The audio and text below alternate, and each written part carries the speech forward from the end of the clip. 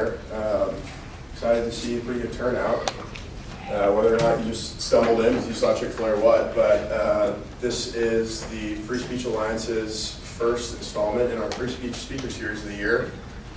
Uh, we want to extend a heartfelt thank you to Davidsonians from Freedom of Thought and Discourse for sponsoring this event and bringing in the food and uh, helping coordinate a little bit. Uh, specifically, we want to thank Savannah Damon, Kevin Cook, and John Craig uh, for their help uh, throughout this whole organizational process. For those of you who aren't familiar with the Free Speech Alliance, FSA exists to ensure a learning environment at Davidson that is ideologically balanced and that promotes lively and fearless freedom of debate and deliberation here on campus. As part of that mission, we're honored to welcome Dr. John Rose to our campus. Dr. Rose serves as Associate Director of the Civil Discourse Project, and he's an instructor at Duke University's Kenan Institute for Ethics. We're eager to hear from Dr. Rose, but we kindly ask that you please hold any questions or comments for Dr. Rose until the end of his presentation. Uh, with that, we'd like to welcome Dr. Rose. Dr. Rose.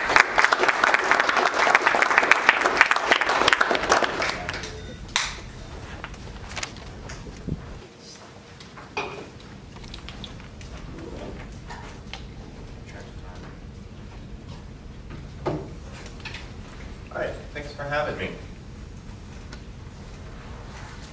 The I gave my talk was How to Build a Culture of Free Speech on College Campuses. Then I edited it to read How, as best I can see, to build a culture of free speech on college campuses. So disclaimers in order. Uh, I don't know everything, far from it. Um, what I'm going to say in the next 30 or so minutes uh, is my best estimation of where things stand with respect to free speech on campus and what can be done about it. But my experience is limited. I've only taught at one school. Not all schools are the same. And I haven't met every last student. And this is an extremely complicated matter. About my background, I teach a class called How to Think in an Age of Political Polarization at Duke. It's really a course on civil discourse, how to have hard conversations. And I've been doing this for about five years. At this point, I've taught about 400 students. And I coffee with almost every one of them outside of class. So I have some sense of where the students are coming from. And where is that? Well, I suspect David's, Davidson students are a bit like Duke students in this respect. Um, a lot of my students don't feel comfortable talking about hot-button political topics. The word or phrase that comes up here a lot is self-censor. There have been a lot of surveys done, maybe you've had them done Davidson, on this phenomenon. And revealing some somewhat worrying trends. Students increasingly feel uncomfortable expressing their views. Now, there's been a lot of disagreement about how to interpret these surveys. Um, some people say, well, you all, I see some of these students in the audience, uh, aren't speaking your minds uh, because you're just merely being polite. Others say, perhaps it's because you really do have some very unacceptable views you shouldn't be uttering. Um, some, some people say it's out of pre-professionalism. And this is something I've certainly discovered at Duke.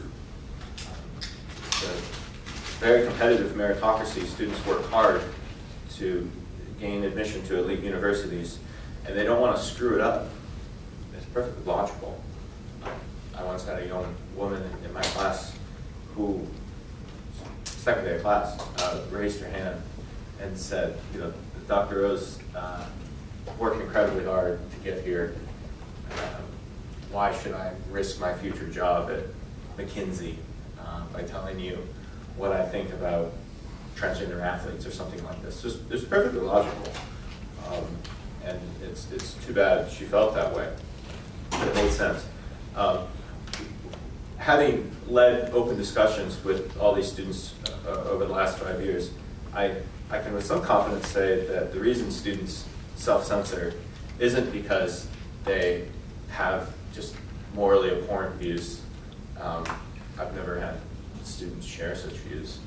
Um, I think admissions does a better job than that. Um, and it isn't just a matter of courtesy.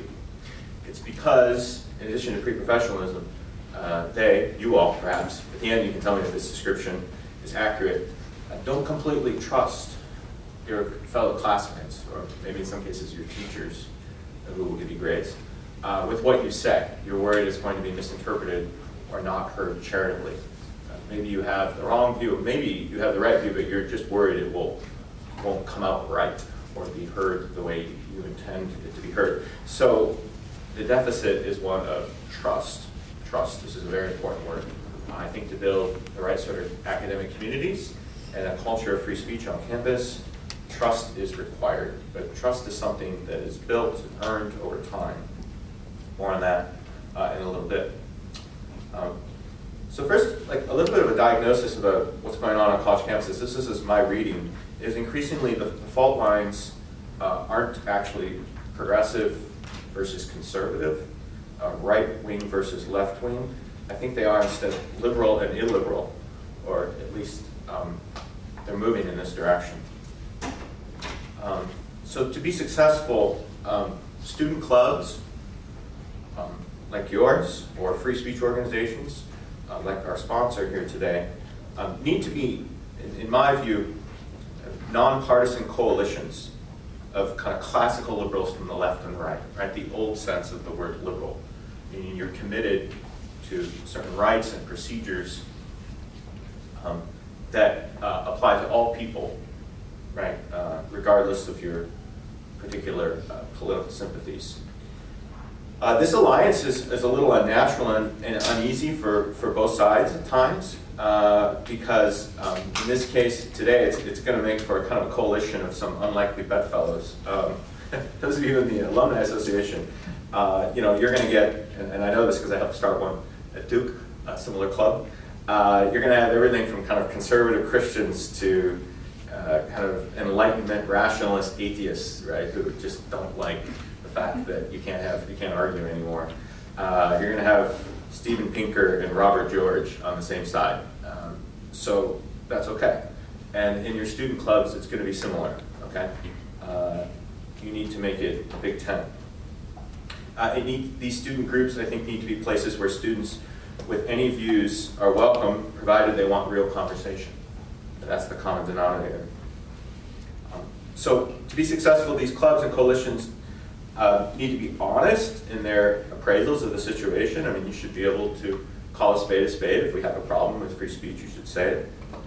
If we have a problem with Orthodox, you should say it. Um, while at the same time, you can do both at once, uh, being positive and constructive in, in the way you go about your business. You need to model the kind of dialogue you want more of in the university. You need to avoid, assuming this is a temptation at all, a kind of burn it all down attitude. Um, but rather uh, embrace a kind of collective call to improve the institutions you, you care about, show that you care about them. Be hospitable in all that you do. Don't be caustic, don't, don't be provocateurs. Your student group, don't invite provocateurs to campus just for the sake of irritating. Uh, show a better way, and in doing so, you'll draw more people to your work and prove to your administration and your teachers and your fellow students your real intentions which I know are good ones. If you care about something, you will say when it needs improving.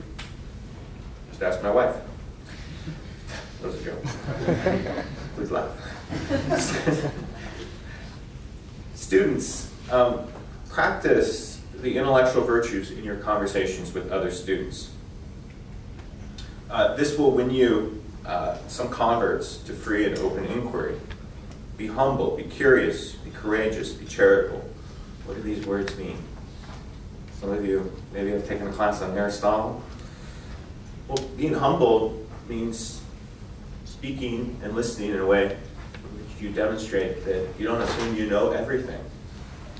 Admit your own fallibility. We're all fallible. That changes conversation.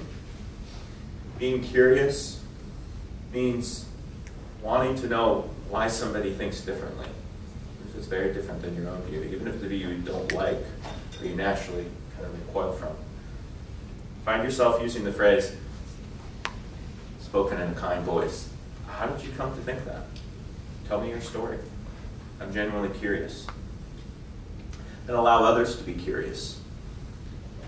If you've ever been in a tense conversation, you know how much it can help for somebody to, especially if you don't expect it, ask a very innocent, probing question that really makes clear that they're just trying to get closer to the truth.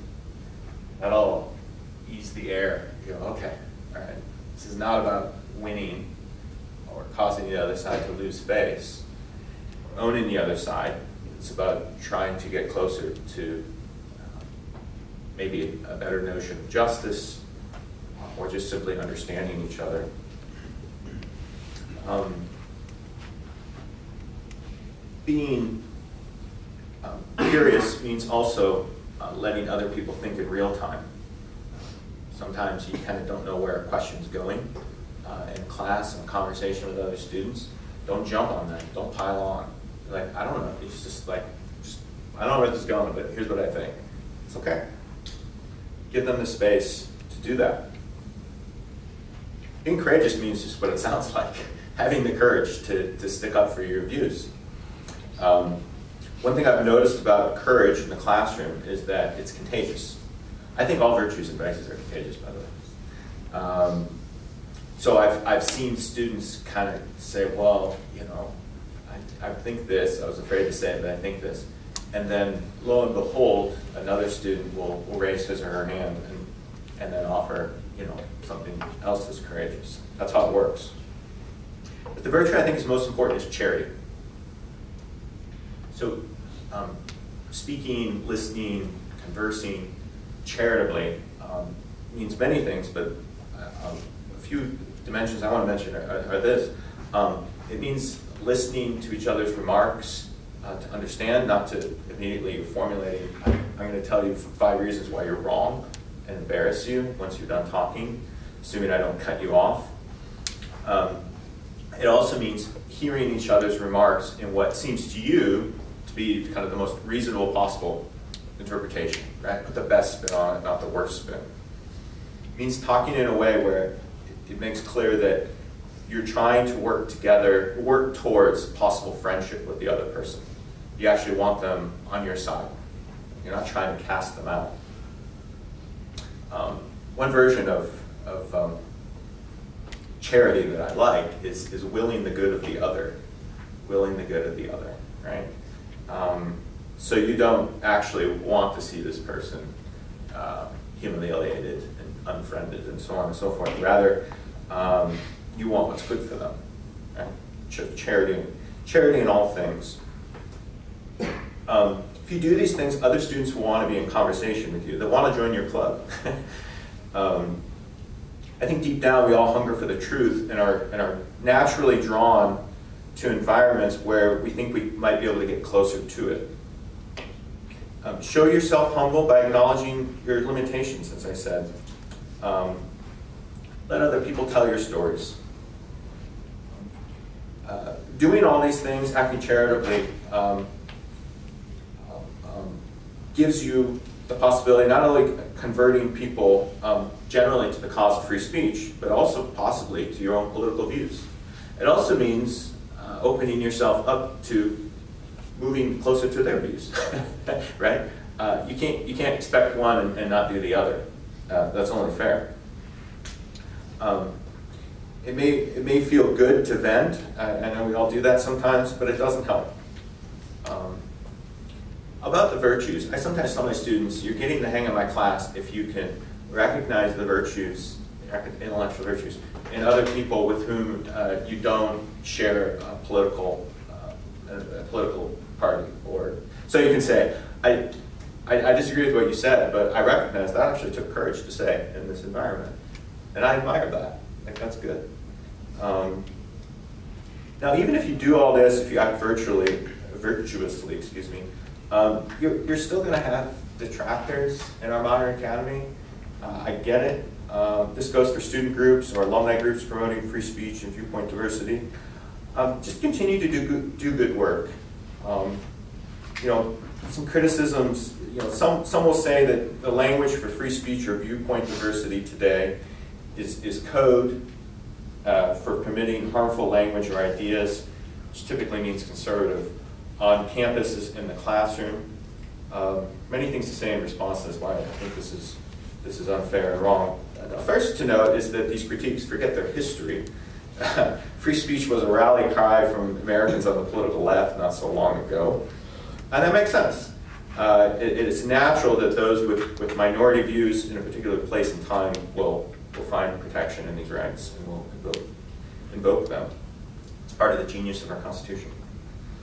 Um, second, I, I, would say in response to this, make clear that by making space for different sides of issues uh, that are dividing people in America, um, that you are actually um, not so much legitimizing this view or that view, but you're putting deliberative democracy into practice.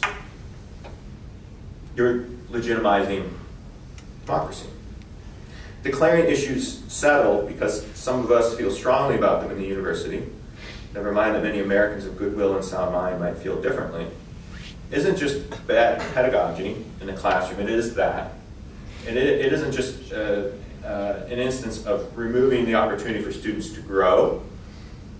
Uh, it's also a failure of democracy at a time when we desperately, desperately need our institutions of influence to rise above partisanship. Universities don't just have a mandate to facilitate these hard conversations. Uh, in my view, they have a moral responsibility.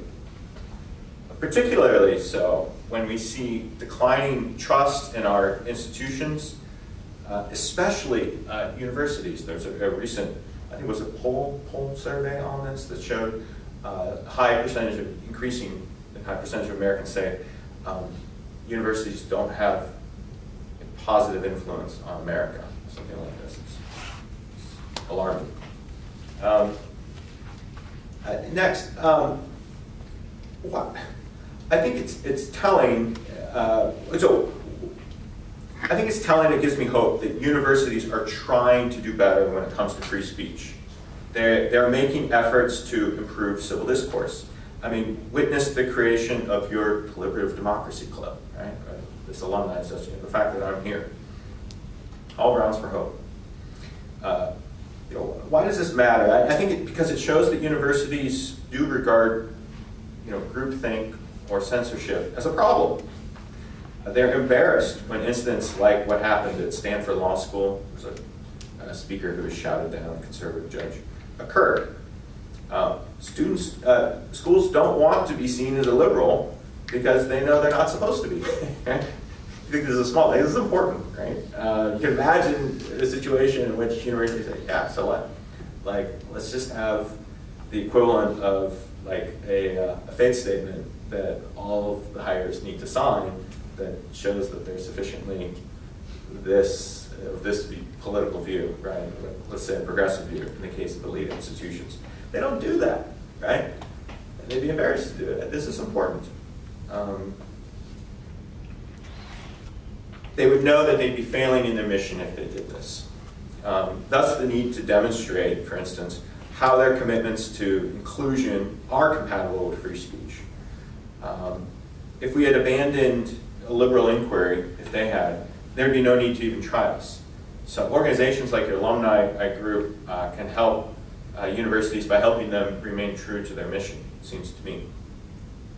So how, how given all, all this will the, will the story unfold? Uh, what's in store for higher education?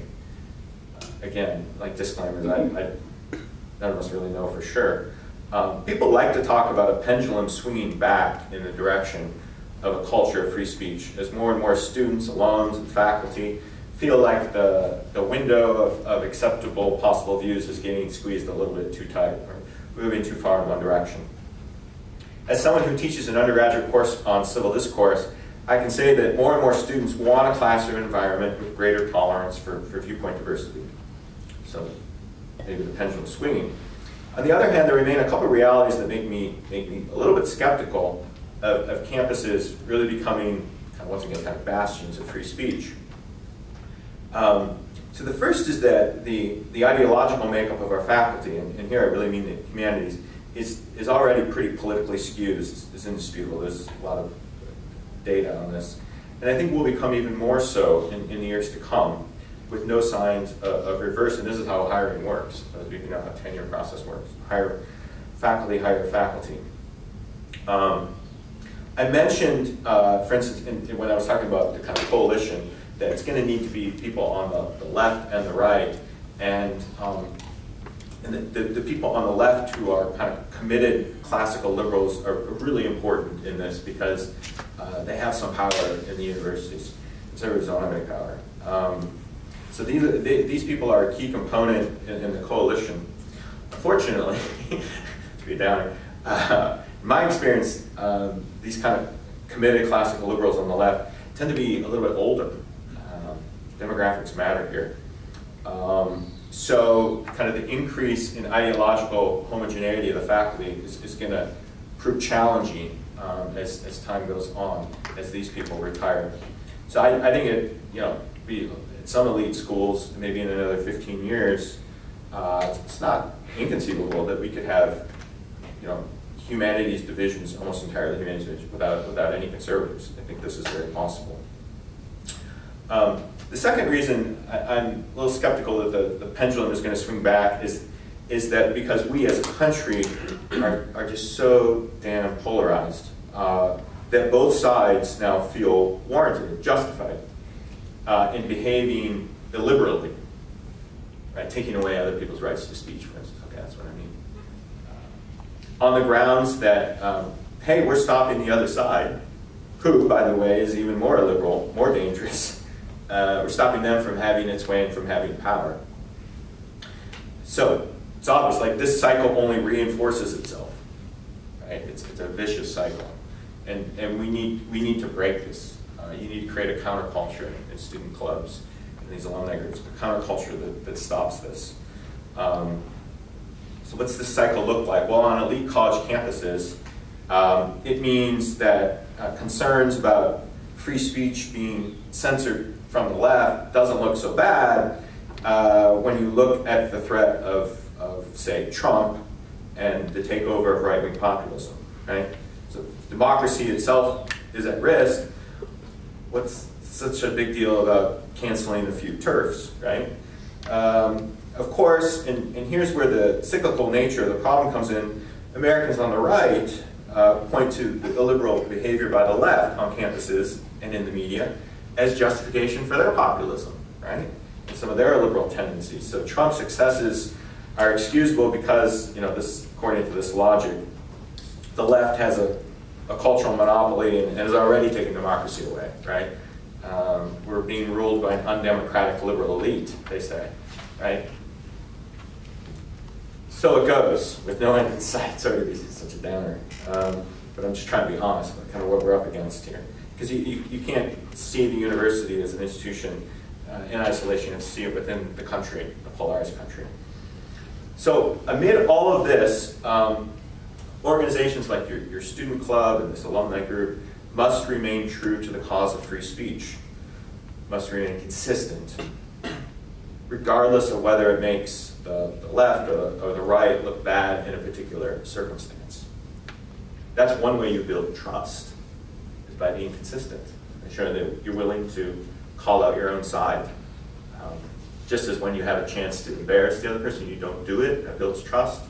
When you're willing to call out your own side, it, it shows that you, are sticking to your moral principles. So we, you need to be above partisanship, it's getting harder and harder in this country to do that and to forge alliances across party lines. Okay, so where, where does this leave us? Um, as I said earlier, I don't, I don't have all the answers. Um, but my humble advice is, to, is to keep doing the work you're already starting here. Um, sounds, sounds great from what I, what I heard. Um, talking to Professor Bullock. Um, keep trying to influence people at the most local level um, by doing you know, better teaching in the classroom by being more open in personal conversation. Your little interactions with other people, political things come up, your behavior in this conversation has, has a ripple effect. You know, when you think about culture, it's really just an aggregate of all of those things. And that, and that, that you may say, oh, I, I want like a quicker solution. Like we just need to change the rules and have kind of a top-down answer. Eh, like, you know, I, people talk a lot about uh, getting the Chicago principles. Okay, I'm a fan of the Chicago principles. Students, you don't know what that is. It's just, get, getting your campus to like officially commit to free speech and so on and so forth. Right? This is a good thing, right? But you can have all of that and still have students who are unwilling to talk, who are failing in the intellectual virtues, and so the, the, the good conversation isn't happening. Those, those are just rules. Um, to create a real culture of free speech, it, it requires a change in habits and change in behavior, right? I think it requires virtue. Be a friend to those who have been socially ostracized for their views. Um, um, if, if faculty or students feel like there are high social penalties for sharing their views, they'll, they'll naturally keep quiet, even if they're technically protected from official punishment.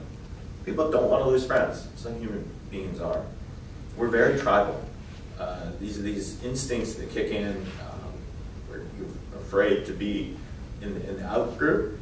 Um, I mean, they've studied this. Uh, the portion of your brain, I forget that, is activated. It's, it's, it's primitive. It's, it's there from the time of evolution in which being cast out of the tribe literally meant you were dead. you were dead, right? But in, in today, and especially in, your, in the adolescent brains, where this is this part's still developing, um, this this this part of the brain is activated when you think I'm going to be socially outcast, right? Um, I'm, going to be canceled on social media. My friends are going to declare me this or that uh, thing, and and uh, it's terrifying. It's terrifying. Um, we also now have evidence about the toll this is taking on the uh, psychological health of, of young people, uh, this cancel culture. Um, so, uh, build your communities um, on a commitment to, to diversity that is not politically indexed, only this or that form of diversity, but not um, uh, political diversity. Build a community on a, on a commitment to free speech for all. Don't declare winners and losers, right? Um, make it a community dedicated to, to a notion of belonging that is not politically indexed. There's not a political litmus for being part of this community. I mentioned the Stanford Law incident involving Judge uh, Kyle Duncan, who got shouted off the stage. And people analyze this thing to death. Um, they talk a lot about the relationship between free speech and, and DEI. But I, I, think maybe a better way to think about what happened there is that um, before he ever arrived, before he ever took the stage, um, some people decided, an unelected group of people I might add, that he did not belong. Uh, belonging in this case is upstream of, of uh, free speech uh, because of his views, right? So, so try to build countercultural communities at your school at Davidson uh, in which all belong uh, because they're committed to open inquiry. You don't belong because you're conservative or you're liberal or you're this or that or libertarian. That's, that's, that's not the, the litmus test. Um, um, and committed to a collective pursuit of truth. Um, this means you're going to hear some views you don't like, but here's, here's the greater uh, prize. Um, you'll be getting closer to the truth, to the nature of justice. You're going to enjoy the excitement of a conversation in which you, you don't know where you're going to land. You don't know where the conversation's going. You're also going to be happier. you didn't see that coming, did? That was going to bring out happiness. Um, so young people today are self-censoring uh, because they want to be liked, right? Or they don't want to be disliked. The, the fancy academic phrase for this is uh, social uh, desirability bias. Okay, I think I got that right, right? Um, now, you might think, oh, makes sense, if, if young people today are, are behaving in ways, when it comes to expressing their that will, in their mind, minimize the chance that they'll be disliked, maximize the chance to be liked, then you almost have a lot of friends, right? Turns out you don't. Um, according to research, this is just anecdotally too, I've, I've seen this. Um, your generation is reporting really high levels of loneliness and anxiety, and really low numbers can be true. It only makes sense that both are happening because deep, genuine friendship, kind that makes us happy, the kind that everybody needs, the kind that if you don't have, no matter what other things you have in life, you won't be happy, according to Aristotle. He was right. Uh, that kind of friendship, the real thing, uh, requires honesty and trust with the other person. So those Facebook friendships in which you're just kind of signaling, you know, I think this or that so that you'll remain liked, and that's, a, that's not a real friendship. Similarly, in, in person as well. What you really want is somebody with whom you can say what you think, and even if they disagree with you, they remain your friend. That's a true friend. That's the kind of friendship that makes us not lonely. That's the kind of friendship in which you continue to will the good of the other even when you have sharp disagreements. So, we need to build communities among alums, among students, and in particular in the classroom in which this trust exists, and with it the possibility of friendship across political difference and the living out of a real culture of free speech that your student organization and your alumni associate uh, organization worthily, very worthily seek to promote and protect. Thank you.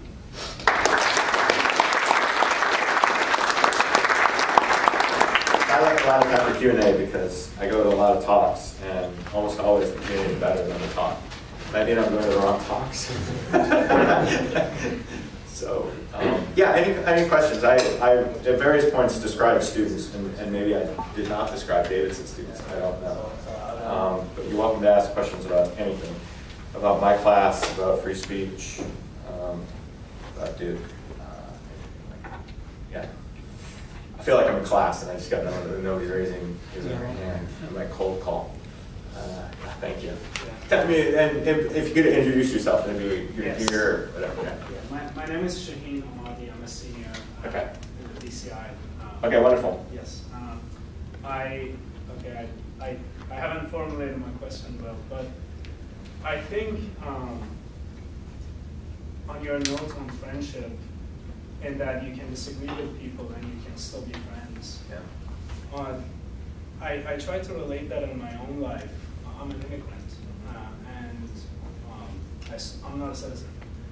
And how can I be friends with people who are opposed immigration in the U.S.? Mm. Meaning that their disagreement is fundamentally in clash with some aspect of my identity. Now, I mean, that, that can be generalized to many other cases, whether that identity is, I don't know, um, sexual identity or yeah. things like that. Yeah. So, so here I might say something unpopular, um, but I think that we have to find ways of creating and sustaining friendship that don't require us to always affirm all of each other's identities. I know that's like a really unpopular thing to say, uh, but I just think it's necessary for democracy to continue. I mean, the alternative is that if you don't affirm this aspect of identity, um, we, we as citizens, we can't come together, right? We can't, we're, we're going to have increased polarization. Uh, and, I, and I get that that's, that's hard for people. Um, but just know that in a, in a highly pluralist society, we are that exceptionally so in America. And one of the reasons it's so hard is what we're trying to do in America, right? You look around the other place of the world, it's not, they're not as multi-ethnic, not as, right? Um, that all the groups today in America feel like there are aspects of their identity that are, are being offended or not affirmed or made fun of. Um, and we have to find a way to tolerate that while trying to work together. So tolerance, I, I think, so there's a lot of interesting work being done on tolerance right now. I think tolerance is a virtue, uh, but it's not a virtue if it just means like indifference. I think it's something more like patient forbearance of a perceived wrong or uh, just a disagreement for the sake of keeping alive democratic life together, possible friendship together. And in this case, that's what it means. I know that's like a hard thing to say, but I, I just, because there are people who, of goodwill and sound mind, feel differently about immigration, you know? And what are you gonna do? You know, we gotta, we gotta make better arguments. You gotta, you gotta come to them, you gotta tell them your story, right? And if you're gonna get them to hear your story and maybe persuade them, um, you gotta be willing to sit down with them, right? Um, you gotta be open to, to this kind of, I think, friendship. Yeah, thank you, that was a great question. Yeah. I see more hands, this is great. It's just like class, one, one, one, one student asked a question and now more. All right, please, yeah. Hi, I'm Flo, uh, also from the DCI, and I'm from Germany. Um, Yeah. I would be interested in your opinion on the role of media in creating polarization and echo chambers. Yeah, uh, so, lots been said about this. Uh, Ezra Klein's book, Why We're Polarized, is very good on this point. I assigned it in my class. So, the short answer is, is media is making us more polarized. No doubt about it. Uh, the way modern media works, uh, we get it according to our tastes, we get in our own algorithm, and the news uh, affirms us that our side's right, and it outrages us about the behavior of the other side and we like that. We get dopamine hits, and it keeps us in echo chambers. Social media is really bad about this, um, and it's unfortunate. So it's really interesting to say, well, so what's to be done about it? Um, there's actually a, a friend of mine who teaches at Duke, uh, runs something called the Polarization Lab, and he looked at uh, social media and, and figured out, uh, did, ran an experiment in which he had people follow uh, bots, is that the word, or whatever, algorithms that took them to news of the, the others, whatever their other side is, you know, if they're liberal, conservative, vice versa, uh, and then tracked whether or not this made them more or less polarized. What, what do you think he found? You, so the idea is like, oh, we'll make them less polarized because they got to hear the other side, right? But it didn't, uh, um, because they just got more adamant. Like they got pissed off. You know, if you're if you're conservative, you listen to MSNBC, you just get pissed off. Um, now, I will say, um, this was on the internet, and these were bots. Um, I think, you know, like your club and, and my class, um, it's, I think students can really benefit from hearing students with other people, but it's got to be flesh and blood. It's got to be another person, and you got to build a little trust. And you got to hear their stories, where they're coming from. I think that's key. So one thing that's bad about media is that it is disembodied. It's not you're hearing, but you need to you need to actually meet with people. So media is making things worse, definitely. Sorry to pile on media, but it's, it's making it worse. It is. I mean, it, it can it can do better. Look, there are great instances of like long form journalism. I can point you to that's really good, you know, and everybody should read that. But people don't want that. That's the problem. It's human nature. We don't want that. We want the other thing I described. So we just we're bad for ourselves. Another hand, please. Yeah. Hey, uh, I'm Edward. I'm also called the DCI. I'm a junior from North Carolina. I wanted to ask you, because we were talking a little bit about conservatism. So, you, so the direction of conservatism and right-wing populism, do you think this has just recently been an, an anomaly by, by a leader, or did it, or do you think that conservatism always, in a sense, kind of had this direction that it needed to go, but they didn't find that person until like former President Trump came to power? Oh boy, that's quite a question. I have taught a class on conservatism at Duke, and I, I start with Edmund Burke, and I go way back, and then there's this big sweep, and, then I get up to the president, and I kind of stop right there. Uh, and but this is interesting. So I have a conversation with my students. Um, okay, everything you've just heard, you know, or all, all the other conservative thinkers, and all their thoughts about tradition and values and whatever. Um, do you think, it's just your question, do you think the modern Republican Party is the natural outcome of that, is the intellectual heir, rightfully descendant of what I just told you? And I get students on the left, who are political left, say yes and say no. And I get students on the political right, some say yes, some say no. what do you agree? But, so, I mean, I'm sort of ducking your question. I think I, there, there are arguments to be made in all directions by all different kinds of people. Um, clearly, like it, it's something that needs to be looked at. Like it's a question that conservatives weren't asking themselves. I wasn't alive, but probably during the Reagan era. Like, is this really conservative? Not, not, not that wasn't not a fierce. It is now because it does feel like something has changed with this populism. Um, but again, is it, is it consistent with what came before, or is it a rupture? Um, I. I, I can't answer. Good question. Yeah. Uh, You mentioned the word virtue rather frequently. Yeah. Uh, And there's a common relationship between virtue and spirituality. Yeah. And You also said that uh, high levels of anxiety and loneliness. Yeah. And is there any attachment between high levels of loneliness, anxiety, and the lack of church attendance in our current culture? So I think there's definitely a connection between uh, declining levels of religiosity. I don't like that word, but you know what I mean. People uh, who are religious, uh, declining levels, especially in young people, and increased levels of kind of strong identitarian-based activism. Because I think it functions, and I don't say this like just for those of you who say that's me. It's it's just observations. I think it, func- it functions and serves kind of the, the same role that traditional religion did, uh, um, in that it creates a strong sense of kind of uh, purpose and meaning in life. Um, there's in group and out group. Um, there are heretics.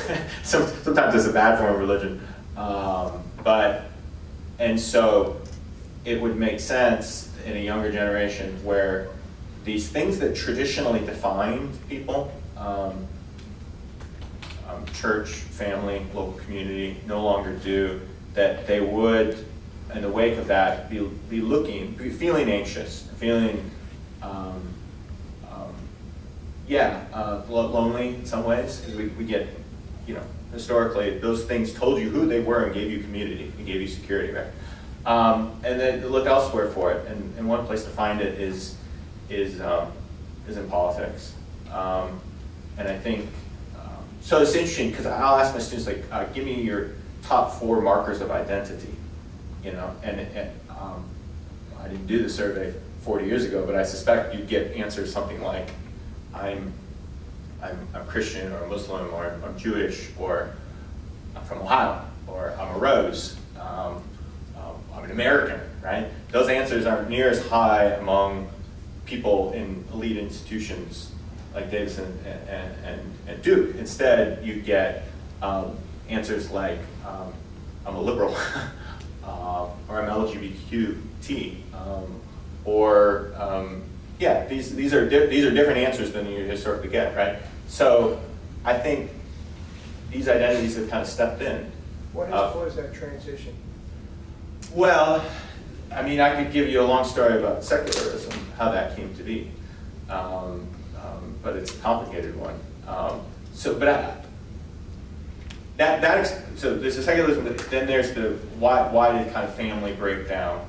Um, that's another story. Um, why did place seem to matter? Why does it seem to matter less? And that has to do with the mobility of people who um, are successful in meritocracy. You all move around for your jobs, right? If you get a job, good job in Chicago, you move there, right? That didn't used to be the case, right? So the, the, the things that traditionally kind of anchored people, place, family, religion, and country, don't anymore. And some people think that's for the better.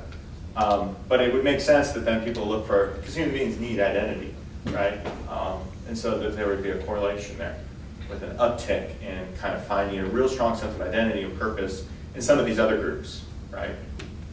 Um, I think I think it's logical, and some people think it's for the better. Yeah. So uh, with presidential elections coming up, how, what would you uh, recommend a college college campus do to properly prepare, or I don't know, like throw parties beforehand and discussions and debates, or what would be the ideal like uh, election preparation in your mind for Duke or Davidson? So everybody gets excited about uh, like deliberative democracy around like election year. Some can, I, I, some, I, I think it's like the worst time to or the hardest time to do it, right? Like you need to do it in the lull when people are like a little less worked up about things. Like, hey, can we have a conversation? Although it's all the more important to be doing it at this time. Um, so um, I just, I just think um, creating an environment that is, that is loose, that is relaxed, that is welcoming, right? I remember what I said about belonging, everybody belongs here, if you wanna have a conversation. Um, and you kind of say, look, we're, we're not here to like cancel each other, we're not doing that. Um, create that environment and then just see what happens. Let, let, it, let, let it happen naturally. Like I said, I think people are drawn to truth, and I think people don't like that we so disagree. Um, and it, it's kind of interesting, like we want to convince each other. Right? I think this is kind of deep in human nature. We don't like that we disagree. I have my own, I mean, coming to religion. I, my training is actually in theology, not political science. And like, I have my own theory about this. I, I think disagreement is actually unnatural to people in the way that death is unnatural. Um, that's the most natural thing in the world, we all die, right? I mean that in a teleological sense. I don't think it was ever meant to be. I think it's an artifact of the fall. That's why we hate it. Uh, and it feels like wrong. Like we want to convince each other. So what we really long for, even though we're, we're canceling each other, we're saying I hate you, want a national door, what we really want deep down is to actually be in agreement with each other.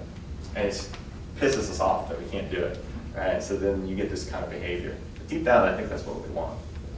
Let's do it, well, yeah. we'll- Okay, that's good. Uh, let's see, uh, please, you've been patient. Um, last week Harvard was in some hot water when they didn't like immediately denounce a pro-Palestinian group um, for their statement on campus. Uh, you made a point on the Chicago principles. What do you think of uh, academic universities making statements on really salient issues or denouncing? Such a great question. You're going to get me in hot water. Um, this, and what an untouchable issue. Um, so in my class, we discussed Israel Palestine, and I had it on the schedule um, a while ago, and um, uh, I said, hey, let's let's move it up because everything's going on, and um, you know, I think it feels to a lot of pro-Israel students like having that conversation, and it's, it's like you're both siding an issue, an instance of how to interpret terrorism, right? Like how, how do you both sides that, right? Um, and the Palestinian students are not invited, don't- want to come, right? Nobody wants to talk. And people want to demonstrate, nobody wants to talk. The, uh, and then these campuses, they, the, there's a lot of pressure on the presidents, as you said, to come out with statements. And then they have to craft these statements in which they, they sufficiently condemn the act of terrorism, which it was, um, while also trying to still say, but we can have an open conversation about the larger issue, and that not be interpreted as opening the door to anti-Semitism and all the rest, right? It's a very, very hard job there. And so one, one approach is just to say, look, we're going to have institutional neutrality. We're not going to take sides, political position. The problem is that these schools are already doing it, right? They did it. They did it in the wake of the Supreme Court decision on affirmative action. They did it in the wake of uh, George Floyd. Uh, they made statements. They did it in the wake of the Dobbs decision.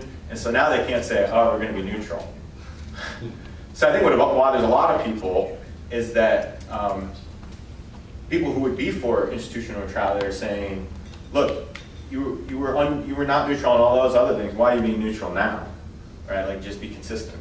Um, so I think, see, I see this, I'm not answering your question. Um, I, think, I think they're in a very hard situation. Um, I guess what I would just say to schools is be consistent. Because cause if you're going to do it, you gotta, you know, if, you, if you're going to mention this group, this tragedy, then you need to mention that tragedy too, right? Um, but the, as to your question about whether or not I think it chills speech on campus, if that's what you're getting at, by institutions taking official positions and presidents sending out emails to everybody, I do think in some cases it does, and I think that's not good. Uh, because what ends up happening is that, and I thought about this with the, the Dobbs decision. I led a class discussion on abortion. It was right before that, but I thought to myself, imagine a student raised his hand and says, why are we debating this? Duke has this position on this. Like, our values are clear. Like, why are we, it would be like a fair question. Like, why, why employ me to have, like, as if this is an open conversation? So I think that's a problem. So I think, you know, students, faculty can take positions, but I'd, I'd rather not universities take. I don't know, does, does Davidson, do you guys get emails from your president saying this is, you're nodding your heads? Okay, all right, so what's going on? A lot of pressure to do it. Um, yeah. I mean, one thing that's interesting, sorry, I know we're out out of time, it's like why we feel the need for this. Because I actually think that goes back to a more basic failure that we're not actually talking about it ourselves and seem unable to resolve it. So we're like, please, you resolve it, and please give my position. You know, and then I've won, right? But in fact, we've not actually done the work of deliberative democracy. So in some sense, I think that desire stems from a, a previous failure. Yeah. Yeah, I was just going to say, so I'm uh, Dr. Bullock, uh, professor in political science, also faculty director of the DCI, or Deliberative Citizenship Initiative. I know there's a lot of DCI fellows in there, but there's also some students who are not, um, and alums. And, and so just wanted to point out, I sort of, uh, you know, hear and agree to some extent with John's skepticism, Mhm. I also want to sort of end maybe on a note of hope or Yeah, sorry, that was a little too, positivity. I didn't know we were gonna have all these students. I thought I was gonna talk to disgruntled alums. Right. But, but that- just Hope, note hope. that John's, John's program, John's course really, and the Del- Deliberative Citizenship Initiative have both received grants from the Arthur Vining Davis Foundations, Yep. as well as several, you know, similar programs at colleges elsewhere across the country, um, to do exactly this work, to create these spaces, to work with student organizations, with alums, uh, to create these um, opportunities for engagement across difference and to create those trusting communities that um, so we have shameless plug we have an event on thursday on uh, the challenge for democracy that many in the room are going to be facilitating conversations after we have a panel of faculty members talking about to what extent democracy should promote and defend democracy around the world, right? Like very relevant to the Israel and Gaza situation uh, and Ukraine and elsewhere. So um, you can learn more at deliberativeCitizenship.org. Uh, it's right on the front page. Uh, and then we have other opportunities and love to partner with, with any of you. Uh, um, and hope that you'll sort of lean into those virtues that, that John is talking about. So If I, thank if you. I didn't emphasize this enough, I, and then I'm sorry. This, doing this work of, of real com, it's, it is possible. It's going on. And there, in any given school, you can probably find one professor or some club that's really doing it and, and it's an oasis and, and go to it. And you'll discover you can do this. You really can do this. So, so please be, be hopeful, be positive. All right. Thank you.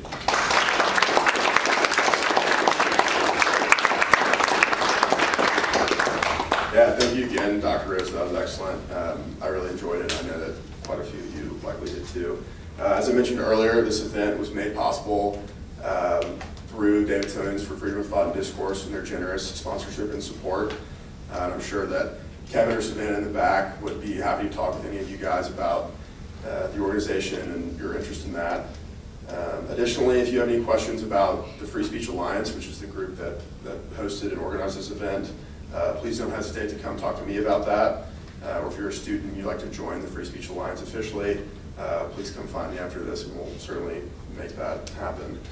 Uh, the next installment in this free speech speaker series that we've got uh, will be on November 12th um, when we welcome Kenny Xu to Davidson's campus. Uh, he's Davidson class of 2019 and has some really interesting thoughts um, on free speech as a whole. Um, so we're excited about that. Uh, so thank you again to Dr. Rose uh, for such an outstanding presentation today. I hope you all have a good rest of your day. Thanks.